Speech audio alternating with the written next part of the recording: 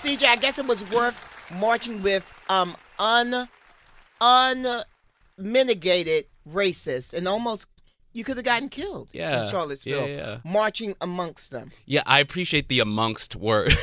Some of the viewers are like, he was marching with white supremacists. Amongst. But that's what happened. That's what happened. You started a little documentary in New Orleans, 2015. Why y'all taking down this statue? And then Trump happened, and then Charlottesville happened, and George Floyd happened. He's still out there with the camera. I'm like, hey man, you got to stop. You got to edit. you gotta, gotta wrap this edit. up. You got to edit some of this shit, man, and put something out. Man, it just they won't stop, Roy. They keep having meetings. Yeah, white I sup- gotta go back out there. White supremacy is like a Marvel franchise, Yeah, right? They're like, is. ooh, what else can we put out into the extended universe? What about an attack on the Capitol? What about What about history Nick books? Winters? yeah. Yeah, him and Which is Kanye 24 running around years with old Trump. in a basement. Lives in a basement. He's Yeah. 24 years old.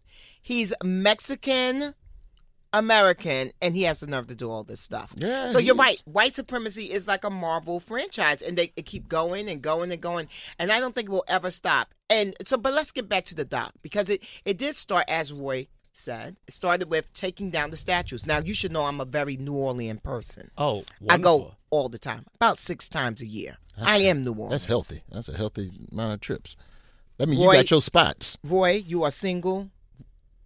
Go to New Orleans and mingle. Absolutely not. Why? I'll never leave. Oh yeah, definitely. Because I'm trying to get a place down there. But anyway, New Orleans, I love it. So when you're, you the film, I know that square. I know Lee Square because I would Yeah. do that walk into the Garden District. So, what was your first reaction when you went to New Orleans and saw that the highest place of honor is to a traitor who fought to keep us in chains? What it was your made reaction? Sense because I grew up in the all-black community, so I know Black history. Mm. so I didn't go to schools where it was a truncated kind of like, oh, and then the people came over on a boat and they worked and they weren't paid very much. I went to a school where every day was Black history, and they told it like a Ti was. So Mm-hmm. I knew about that, and I it was something that I expected. And there was something almost kind of like, eh, it is what it is.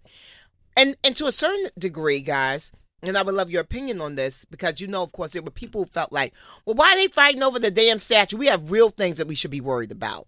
But I believe that symbolism and representation counts, right?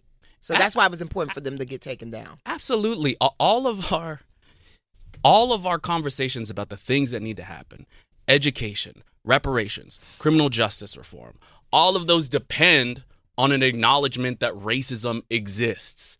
So when we're talking about a monument, it's helpful because it's concrete. Yeah. You're like, hey, can we can we at least agree to a base level that white supremacists who attack the government and fight to keep black people in chains, maybe that's not the best example of a New Orleanian. Can we agree on that? And people were like, no, we can't even agree on that. That was he wasn't racist. The Civil War wasn't racist. So hearing that being said out loud in mixed company at at a city gathering made us be like we should be rolling camera on this to see mm-hmm. how hard some of these white folks are going to fight to hold on to literal stone and bronze we didn't realize that it was going to get real scary too. Yeah.